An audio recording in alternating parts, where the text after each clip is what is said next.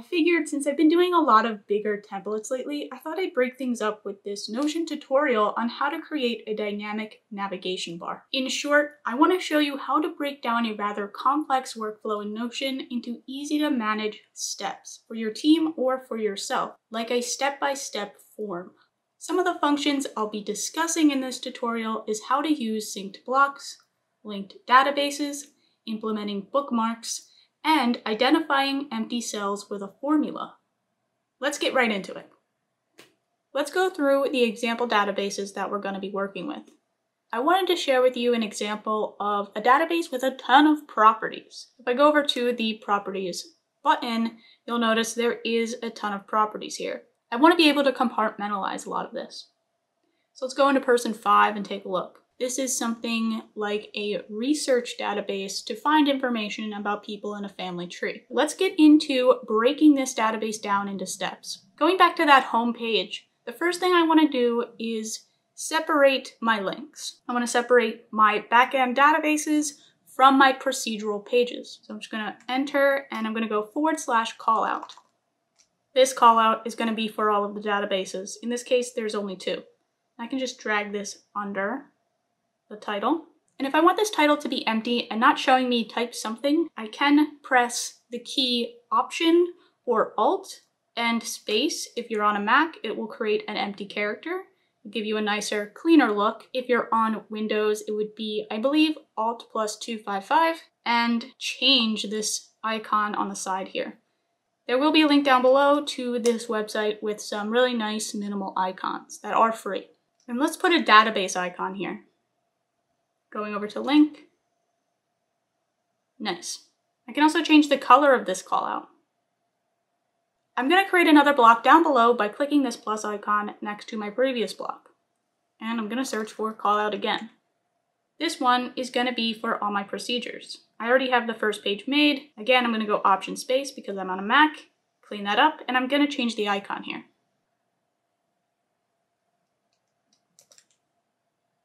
I can also create two different columns here by dragging one block next to the other.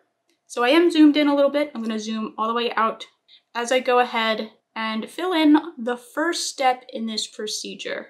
I want to have inside of every step a header, and the header is a callout. You'll notice that I have other callouts within this callout. This callout here is going to be a place where you can describe this step in the procedure and what it entails. Nested inside is a call out for what you need to keep in mind. Underneath of that, what you need to avoid and important links to keep in mind. As for links, if I go over here and copy a link and paste it over to Notion, there is an option to create a bookmark.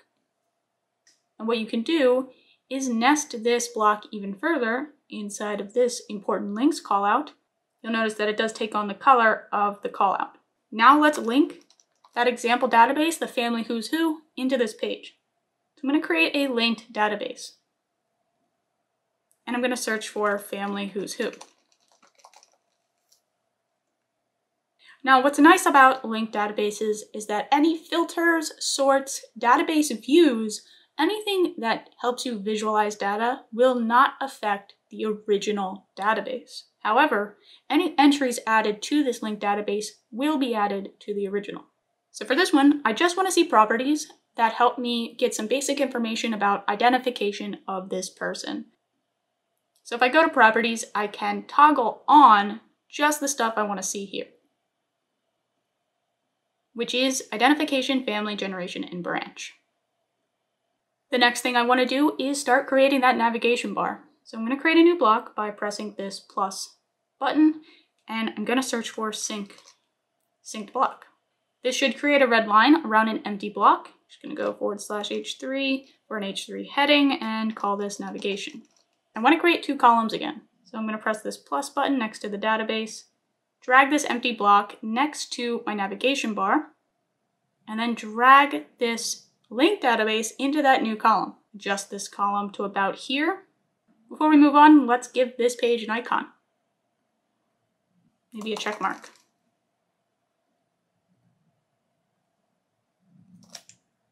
What's going to happen is that when we're done making this page, I want to go ahead and duplicate it for our next step.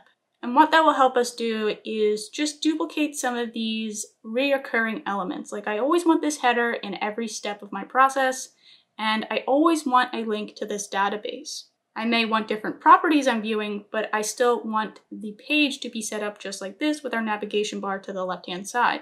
So with that in mind that we are going to be duplicating, if you want to add any filters to this first step, I would do it here. So if I add a filter for something like, I want to make sure maybe I'm working on this every single day. There's a lot of data going into this very frequently. So I want to be able to filter it out so I don't see a long list of entries every time I go through each step of the process. I do have a property called created. Created is a property that upon creating a new row like this, a created timestamp is shown. Using this, I want to filter all entries that are only created today. And that'll give me just that one entry. I'm going to delete that filter for now, just to give you guys a good example of how this would look with properties filled out.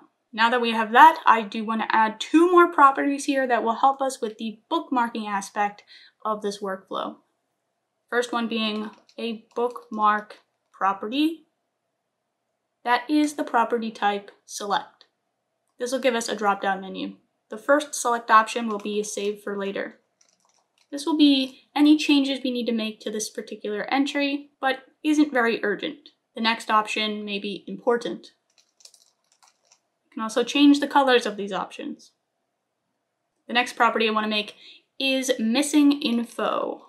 This will help us with creating a formula to return all of those empty cells. This property type will be a checkbox. Now it's a matter of just creating this navigation bar. I want to type out the first step, step one, add identification. I want to turn this text into a link to the page we're currently in. To quickly copy uh, the link to the page you're in, there is a shortcut. It's Command L. From there, I'm just going to highlight this text and paste. If you hover your mouse over the text, it'll give you the page it is linked to. Back to the home page, I'm going to highlight this first link and duplicate. Let's go into this copy and rename it to dates. Now I want to collect all the dates for each one of these members. Get that calendar emoji. All the previous steps properties are still here, so I'm going to hide those and just show the ones I want here, which is all the dates. And I'm going to keep that bookmark and missing info checkbox. Looks like person two does have missing info, date of birth, and that is an important cell, so I'm going to add a bookmark for save for later and missing info. Now below step one, I'm going to put in step two, add dates. Command L to get the link to this page, highlight and paste. Now let's go ahead and make step three. This process is pretty quick from here. Just going to duplicate dates, and keep going. I have about seven different steps I want to incorporate. So step three is going to be recording all the places these people have been born, resided, died, or were buried. And I'm gonna have another icon for this as well. Again, a lot of this procedural design is just for the visualization ease of a workflow. Step three, add places. Command L to get the link to this page and paste it in. And of course, we're going to look at the properties we want to fill out here. Birthplace, residences, death place, and burial. Keeping, bookmark, and missing info. All right, moving on to step four, and we'll do this one together, and I'll do the rest off camera. So duplicate, you'll notice that this synced block, every time I add more links, more blocks to this synced area, it will update everywhere. Okay, now let's add relationships. Command L, paste this in. Okay, so I've implemented all of those seven steps. Let's go to step one, identification. I can navigate to step two, three, four. Of course, I could also add something else to this navigation and everywhere else that something else will show up. That's the beauty of that synced block. Now you'll notice logically, you could also do something like this. You could turn maybe this call out into a synced block.